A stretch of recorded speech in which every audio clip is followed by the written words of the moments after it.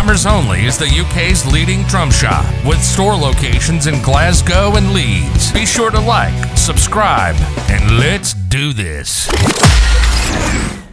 Hi guys, so Adam from Drummers Only here, and I am here with the legendary Carter McLean. How are you, man? It's kind of you.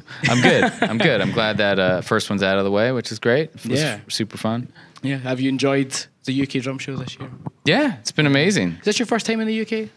No, I was actually here in 2018 when it was in Man. I was in Manchester when it was there. Oh, of course, And yeah, I was yeah. randomly on tour with Charlie Hunter. We were doing a duo tour, Right. and we were in town. I think doing something for the BBC radio. It was Right. a concert, but it was being broadcast. And somebody's like, "Oh, you must be here for the drum festival." And I said, "What are you talking about?" Hmm. They're like, "Oh, the UK drum show's this weekend." I was like, "What?" So I went over to the festival and. Like all of my friends were running around the festival. No way. Yeah, it was crazy. So I, like I kind of got a glimpse into the festival briefly, which is really cool. Yeah. So you've just came off stage today. Yep. How did your performance go? Did you? I, I personally, I thought it was sensational. Uh, Thank you. I was gonna say, you tell me. Yeah. Uh, yeah. I didn't plan like a soul. Like I just went up and improvised for a minute, and then I Mm-hmm. You were talked. a using a bigger kit than you usually would, right? Yeah, it was twice the size. Yeah. So normally I just play 12, 14, 20, or like 12, 14, 18. Yeah. And two cymbals, and this was 12, 13, 14, 16, 20, 24. Wow. You were playing the 24 with your heel, is that right? Yeah, c- trying to. uh, that- that's think you did a pretty good it's job, a man. It's pretty new- good. It's just like a new idea, and I figured why not try to do it? Yeah. you know, like I could just not do it, but it's more Where's fun. the fun in that, though? Yeah, I feel like it's nice to see someone on stage that's not just flawlessly pl- like I'm not trying to screw up, but like it's nice to see that you're human. Yeah. When you're in the audience, and if you're like trying to figure this instrument out, I'm still trying to figure it out every Yeah. day. It's hard. Do you find when you're teaching younger players, do you find a lot of influence of today's media in their playing?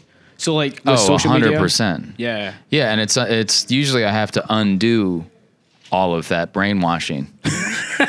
It's kind of what it seems like.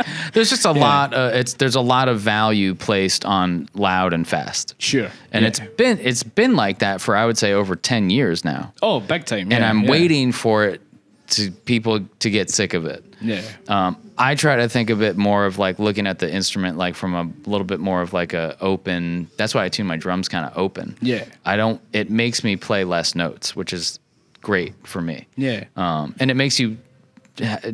You have to choose your moments Hmm. instead of just ripping the entire time. Yeah, and I think for younger players, you know, they they view of it everything like, oh, I have to get this many likes or this many views to be credible, you know. Yeah, And that's why I've always been a massive fan of your Instagram account, account, account, account personally because Either of those works. yeah, yeah, totally. Um, because you do, you, I remember when you did the three tempos thing. Like, oh, that was a while ago. yeah, and like just I just I don't know if it was just me, but I loved it when you played everything really slow because you could hear every nuance of your playing. Yeah, you that's kind of why I did that because, in a nutshell, I didn't say that, but everybody was faster, faster, faster, faster, faster. Yeah. And I was like, let's. It, the hardest one to do is the really slow version. Yeah. Because then there's all this space that you have to be accountable for. Mm-hmm. Do you ever play that game with the metronome where you set it to like five BPM? Nope. do- no. My time isn't good enough for that. It's depressing. I mean, I can I can hold down time, but I don't work with a metronome that much. I play one every night at Lion King, so that's fine. I, Yeah. I mean, I can do it, or if somebody sends me a track, it's fine. Yeah. But I don't. We're human beings, and our heart is not a perfect metronome. Like there's an ebb and flow to everybody's thing, and I, I try to embrace that. For sure. You yeah. know? Because it makes you human, doesn't it? You know? Yeah, well, otherwise everything's just programmed, and that's fine. Just quantize it, and you're done. Yeah. But like, I think that's what people are missing these days is like an actual connection to being a human and like playing an instrument, like Yeah. actually not just hitting a, a note on a keyboard and it goes. You know, it's like What keyboard's that? I want that one. it's every keyboard. Like your phone can probably do. it, You know what I Yeah, mean? totally. But it's nice to just let everything breathe a little bit more organically. Yeah. So you do the Lion King. So, you know, obviously a lot of you have to play it note for note, I guess, every night. So Yeah. for anyone who isn't familiar with that world, what's it like when you first started that gig compared to now? It was terrifying for the first like six months because there's there's so many uh, booby traps in every song.